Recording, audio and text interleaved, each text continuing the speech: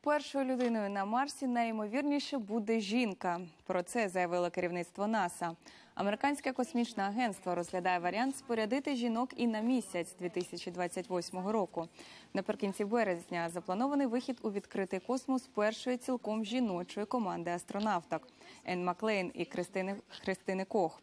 Вони мають пробути в космосі 7 годин. Асистуватиме їм також жінка, диспетчерка Фачел.